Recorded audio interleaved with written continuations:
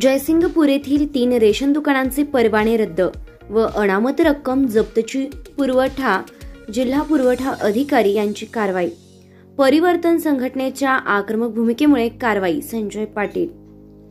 Jaysingpur Vikas society taluka Shirol यांच्या दुकान क्रमांक दोन तीन पाच या रेशन धान्य दुकानातून बोलेरो टेम्पोतून रेशन धान्याची पोती बाहेर विकण्यासाठी जात असताना त्याचे व्हिडिओ चित्रीकरण करून ज्या मिलमध्ये धान्य उतरले त्यातील रजिस्टर प्रत व पुरावे तहसीलदार व जिल्हा पुरवठा अधिकारी यांना सादर केले असता तहसीलदार अपर्णा मोरे धुमाळ यांनी तातडीनं जागेवर जाऊन सदर दुकानांची तपासणी केली होती.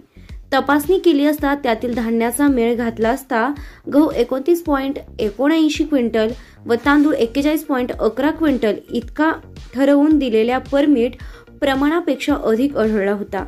त्यानंतर परिवर्तनचे अध्यक्ष संजय पाटील यांच्या नेतृत्वाखाली सतीश मोटे श्रीकांत शिंगाई यांनी तक्रार दिली होती.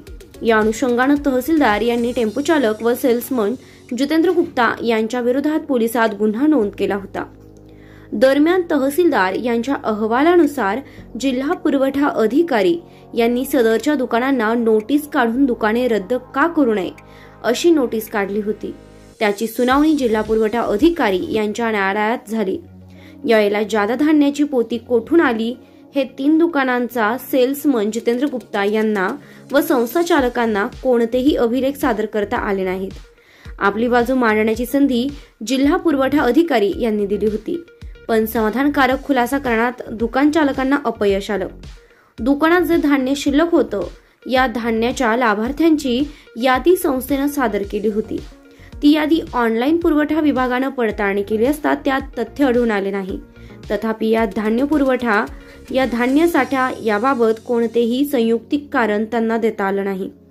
तसंच जयसिंगपूर गावातही तिन्ही दुकाने प्राधिकार पत्रानुसार वेगवेगळ्या ठिकाणी आवश्यक असताना बेकायदेशीरपणे एकाच इमारतीत आढळून आले असून तिने दुकानांना गुप्ता नावाचा एकच सेल्समन नेमण्याची गंभीर बाब सुद्धा समोर आली आहे.